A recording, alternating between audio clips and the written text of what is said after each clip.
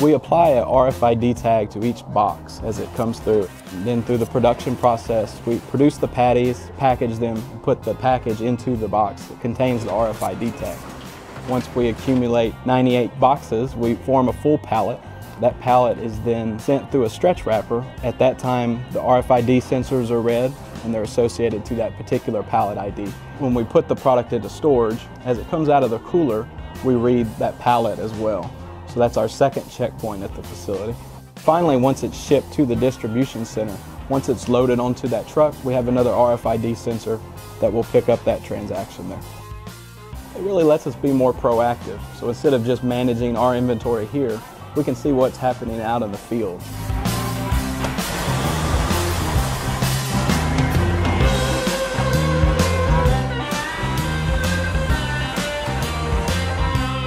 In Garner, North Carolina, the cases are unloaded at this distribution center before being delivered to restaurants in that region. As you can tell, this is a very busy distribution center. We do about 1,300 deliveries a week and we move roughly 600,000 cases throughout the facility.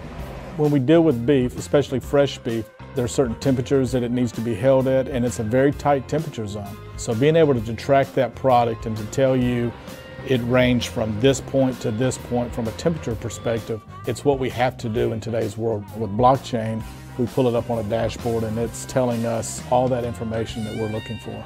We have to be able to prove to our customer that we made sure that that product was in the correct temperature zone from the time we received it to the time we delivered it.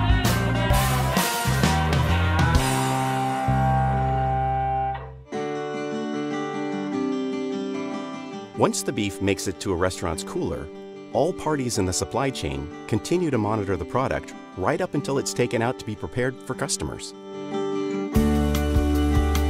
Well, we're very excited about the results we see from the beef pilot. The ultimate goal is to be able to put this technology in every product that we send to the restaurant. Inventories, it's a challenge for the restaurant because their sales fluctuate daily depending on what's happening in their market. So us being able to manage and know what's in the back of that restaurant we could bring them exactly what they need. It's not about just digitizing your supply chain, it's reducing hours of reconciliations that companies go through. It also optimizes the inventory throughout the supply chain. You're going to be able to ultimately have the right product at the right time at the right place. Can you imagine how much waste today can be prevented with that kind of information? That's what makes this pilot unique because manufacturing, distribution, and customers are willingly sharing the data. And that is really the common goal that everybody is striving towards.